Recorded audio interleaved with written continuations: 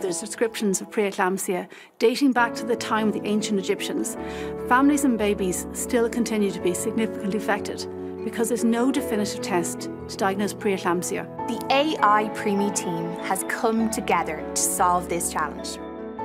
Together, we draw upon cutting edge biomedical, clinical, and machine learning know how to solve this problem and reduce enormous competing risks for mothers and babies.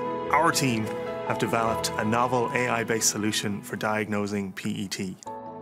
Working with SAS Analytics, a global leader in data science, we use the power of machine learning to unravel the relationships between the information we have about patients and the occurrence of PET. By combining the indications of PET that come from the novel biomarkers that the team have developed and the in-depth patient information that's available in hospitals, we're building a reliable and accurate test for this condition. The impact of AI_PREMie will be a game changer in tackling preeclampsia.